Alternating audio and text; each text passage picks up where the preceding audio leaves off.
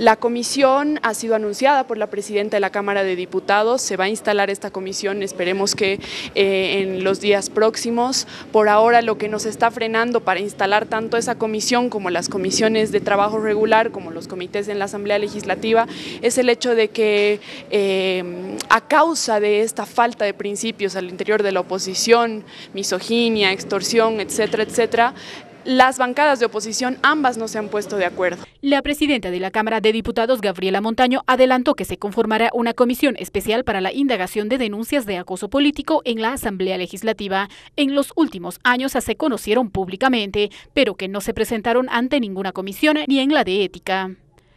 ¿Quién va a permitir en nuestro país ser discriminado? Nadie. Las grandes mayorías, menos hay un empoderamiento que pasando por lo simbólico es fundamental, pero también eso lleva para quienes se han empoderado cumplimiento de derechos, pero también de deberes.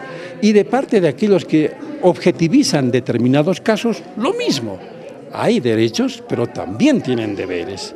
El problema es que muchas veces olvidamos nuestros deberes. La ley contra el acoso y violencia política hacia las mujeres vigente en el país desde el año 2012 define como acoso político al acto de presión, persecución, hostigamiento o amenazas en contra de mujeres candidatas, electas, designadas o en ejercicio de la función político-pública o en contra de sus familias para acortar, suspender, impedir o restringir las funciones inherentes a su cargo, cuyas sentencias van desde dos a ocho años de privación de libertad.